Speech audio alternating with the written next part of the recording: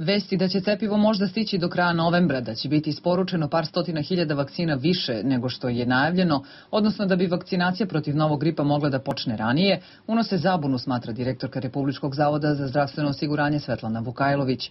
Ugovor o nabavci vakcina je potpisan 13. novembra, a švajcarska farmaceutska kompanija se obavezala da će u roku od 25 dana isporučiti prvu količinu od 500 hiljada doza vakcina moram da kažem da je licitiranje sa rokovima isporuke ili prevremenom isporukom jednostavno kontraproduktivno, jer e, stvara dodatnu nervozu kod samog proizvođača, pogotovo ovako i onako u zavreloj situaciji na tržištu vakcina.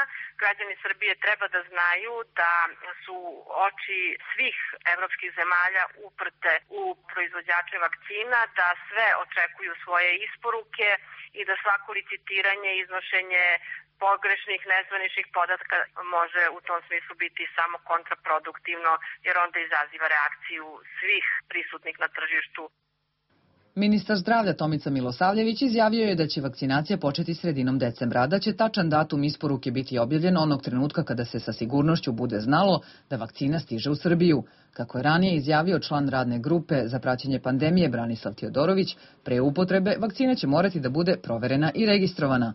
U Agenciji za lekove nam je potvrđeno da prema zakonu o lekovima i medicinskim sredstvima svi biološki lekovi u koje spadaju i vakcine, bez obzira na sertifikat neke druge agencije, moraju da prođu registraciju i kontrolu kvaliteta, efikasnosti i bezbednosti u nacionalnoj kontrolnoj laboratoriji. Ta procedura koja se primenjuje u svim evropskim zemljama traje oko 15 dana.